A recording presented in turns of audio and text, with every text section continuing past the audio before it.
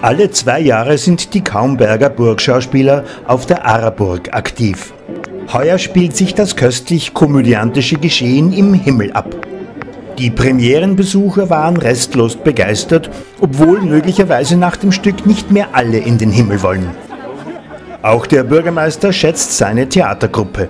Mit dieser Gemeinschaft äh, bringen sie natürlich auch in unsere Bevölkerung eine Zusammenhaltigkeit, die was wunderbar ist. Sie bringen ein kulturelles, äh, schönes Leben bei uns ja, und äh, gleichzeitig erhalten sie mit dem, was sie da einnehmen, auch noch die Burg. Da kann ich nur froh sein als Bürgermeister, wenn wir so einen Verein haben, der was äh, so viel leistet. Das turbulente Treiben hat die Regisseurin Uschi Nocchieri auf die Spitze getrieben und ist alles andere als himmlisch. Also bitte, mich pressiert's. Lass mich aussehen. Mei, jetzt rennt er schon wieder aufs Häusl. Wurde verstanden. In Kürze Neuzugang. Mit erheblichen Schwierigkeiten zu rechnen. Over. Der Engel mit Landungsschwierigkeiten macht so einiges mit.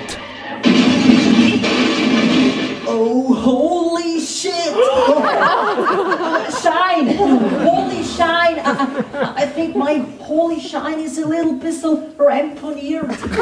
Glücksspiel und Alkohol gibt es also dort auch. Und der Höhepunkt ist ein schwangerer Engel. Wieso ist heute Nacht was los? Muss man sich als Frau sehr verstellen, wenn man einen Engel spielt? Natürlich nicht, ich meine schon so. Nein, also es war schon, die Rollen sind jetzt sehr individuell gestaltet worden und somit halt zutreffend auf alle Schauspieler angepasst und somit war es eigentlich nicht so schwer, in die Rolle reinzufinden. Auf alle Fälle eine tolle neue Erfahrung. Ich habe selbst bereits dreimal bei Laientheater mitgewirkt in einem anderen Ort, aber hier jetzt auf der Burg ganz eine neue ähm, Erfahrung, eben ähm, auf professionellem Niveau. Aber fliegen könnt ihr noch nicht. Wir sind noch beim Probieren. So die Fashion-Musiker-Engel von der Und wo ein Himmel, da auch eine Hölle. Ja, ich denke, da lassen wir eine Person aufkommen, die auf der Welt schon nichts Gescheites zusammengebracht hat. Ein Fußballer von der österreichischen Immer. Dann kannst du nur mehr Politiker sein. Welche Voraussetzungen braucht es eigentlich, um einen Teufel zu spielen?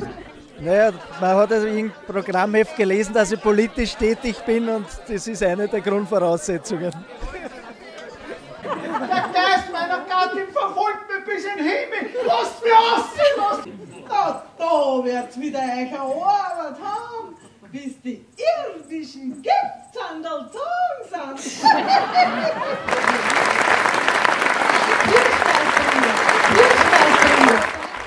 Tosender Premierenapplaus. Das Stück läuft noch bis 13. August. Generell ist natürlich bei Amateurgruppen so, dass die, man spürt das Herz dabei. Das Herz, die Leidenschaft.